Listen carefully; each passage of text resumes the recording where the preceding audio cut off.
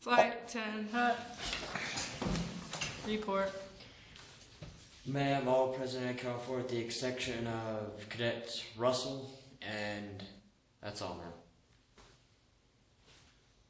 All present and accounted for with the exception of McGee and Kramer.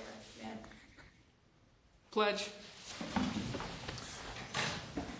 I pledge allegiance to the flag of the United States of America and to the republic for which it stands, one nation, under God, indivisible, with liberty and justice for all. Seats. All righty, do we have the book? Did somebody get the book? Get it? We need to get it. Who has not done their speeches yet? Raise your hands. Would you like me to go get it? Yes, please. Who has not done their speeches?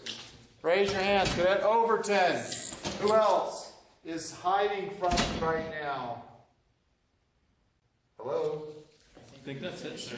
Yeah. Everybody's done it except Cadet Overton? Sir. That means you get four minutes. I think so.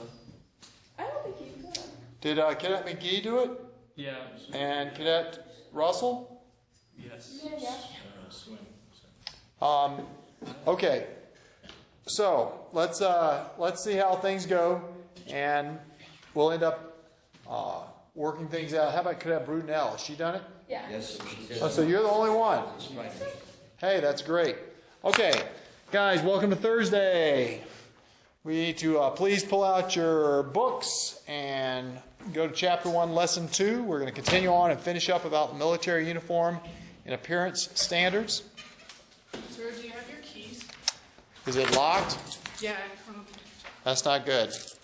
Green to get in, orange to get in my office.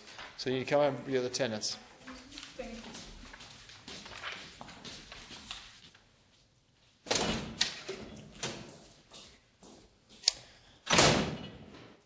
Okay, guys, let's uh, go through the.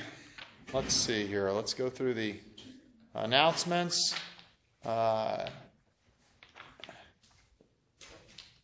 this is a busy week with uh, all the goings on here in ROTC. We have uh, we had a color guard yesterday, and we're going to have a uh, another uniform day tomorrow to dress out so that we can uh, honor our veterans just like these crazy guys doing. Yes, sir. Yes, ma'am.